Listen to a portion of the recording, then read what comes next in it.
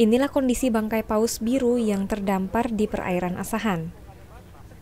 Sebelumnya, berulang kali paus tersebut digiring oleh nelayan setempat bersama Polri dan TNI ke laut lepas agar dapat hidup. Namun akhirnya paus langka tersebut mati. Forkopimda Asahan dan Tanjung Balai dengan menggunakan perahu nelayan langsung menuju ke bangkai paus tersebut.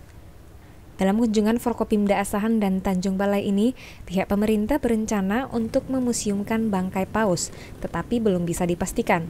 Diketahui bangkai paus mempunyai panjang 14 meter dan berat diperkirakan mencapai 20 ton. Saat ini pemerintah masih menunggu kedatangan pihak dari museum untuk mengambil mamalia raksasa tersebut. Ya kita ya karena ini kan semacam apa ya bagi kita langka ya di sini. Ini kan terdampar jadi jangan sampai nanti walaupun dia sudah mati, ya supaya jadi kenangan sama kita. Ini nanti mungkin akan datang dari museum ya, sesuai dengan informasi dari kepala desa. Ini nanti kita tunggu nanti. Mau dijadikan apa?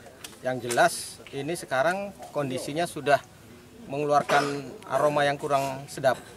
Ya, jangan jangan sampai nanti gara-gara dia ini ada terjadi apa namanya?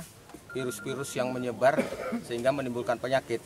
Jadi nanti kita harapkan dengan datangnya tim dari museum, ya tentu ini bisa di apa namanya diawetkan atau juga gimana lah, ya.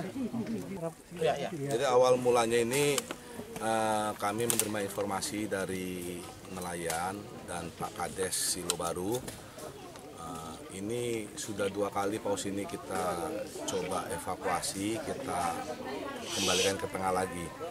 Jadi para nelayan dibantu uh, TNI Polri, termasuk dari Kodim dan dari anggota Lanal juga kemarin sudah mencoba dua kali kita coba evakuasi. Uh, dari Asahan Sumatera Utara, Rashid Rido, Tribrata TV, salam Tribrata.